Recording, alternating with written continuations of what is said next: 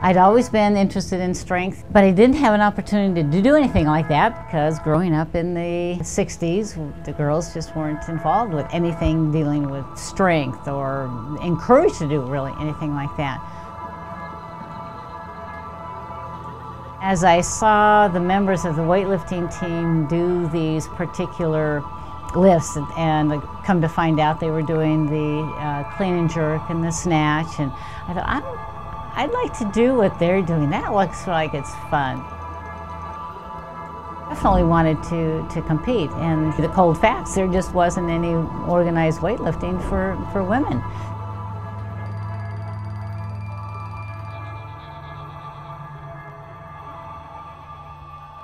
We had our first national competition in 1981, and it was great. I thought, well, let's let's make it global. Let's go for a world championship. Why not? I kind of took it upon myself. Let's just get the word out there. So I started publishing a little newsletter. A few contacts that I had from various countries that had started getting their women involved with weightlifting. Say, look at what we've got going here. We, we do have a cadre of countries that are willing to compete. They're anxious to get going. So in 1986, we uh, did have the first international competition. It was in Hungary, Budapest, Hungary. Not only the women, but the uh, but the spectators. They were more than thrilled. They were very enthusiastic. Let's get go for the gold, literally.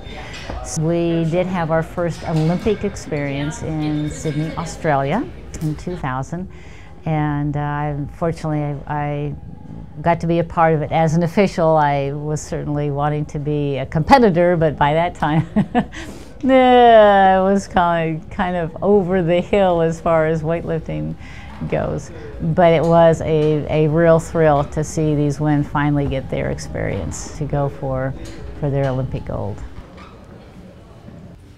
Pacific just had that uh, that certain thing. It was it was very comfortable for me. I met several of the uh, teachers that I would be working with in the physical education area and found them very friendly, very welcoming. As I looked at uh, their uh, their track record, as it were, in producing physical uh, educators, it was wonderful. I, it's the faculty, it's the program, it's the whole package that, that makes up what Pacific is, and that's what sold me.